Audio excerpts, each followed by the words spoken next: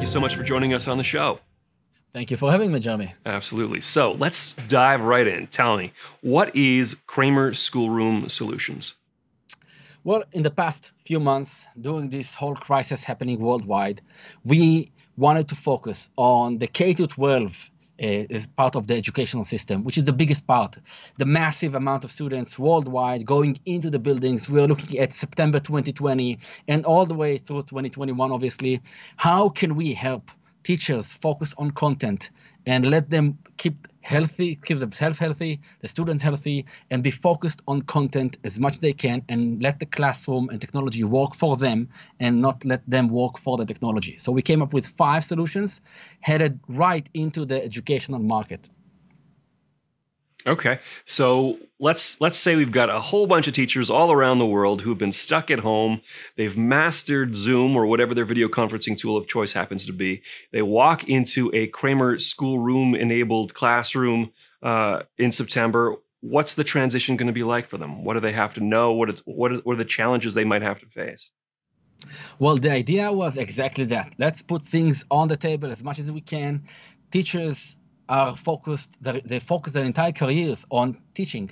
And we don't want them to have any issues with the technology. So the main thing was simplified transition.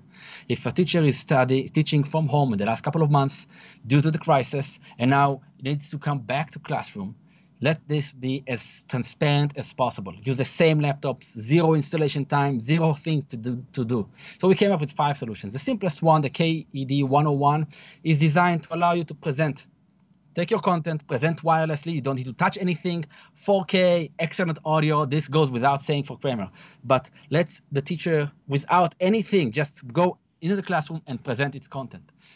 The next solution that we have was a KED 201, which will go to automated classroom using the Kramer Maestro. You do an action and things will happen automatically for you. So in this case, connect your laptop with the HDMI cable, the classroom will work for you. There is no instructions to follow that you need to do X and Y things. Take the Zoom, the Teams, whatever software you use at your home with the same laptop, connect it to the classroom, and now everything is there.